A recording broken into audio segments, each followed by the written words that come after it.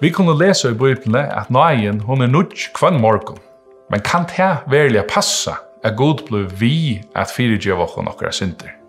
Ja, til næstan er skiljande at god er såløys at han fyrirgjøva hun okra synder, atter og atter, og at gods nøye verilig er nødt kvann morgon.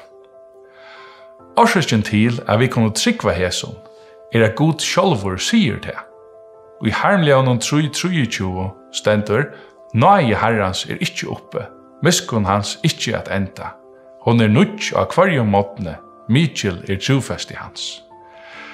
Hetta leva nastan for godt, men vi kunne lyta av Guds år, og at det er såløy som Gud hever sagt. Spurningen er om det verlig kan passa at Gud blei vi er fyrirtjeva. Samme spurninger kunne i æsne være, hvordan ber det til at god kan blå via fyrirgjøva attor og attor og attor.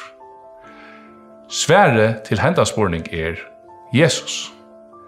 God kan fyrirgjeva okkon til at han elskar okkon og til at Jesus døye for allar okkara synder.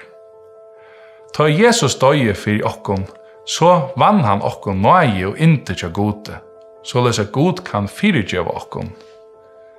Og i Efesos 8 stendur, Ta og Jesus døye, kjepti han okkon leis vi blåe søynun, og fyrirgav okkon atlar synder okkara.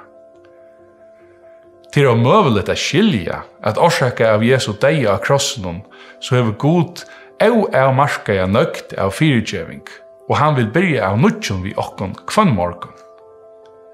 Hauast til å gjøre litt skilja heitar, ja, så er det møvligt at tryggva hesson og hava alit av at det er såløy som god sier.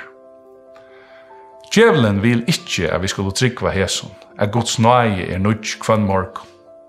Han røyner vi sånn liknun at sige okkom, at nu har vi synda så ofta at Gud kan ikkje fyrirge okkom møyra.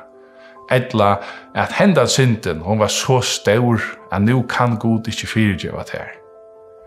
Djevelen han minner okkon særlig av hettar, ta vi fettlo gjerne synd som vi tar gjørst atter og atter.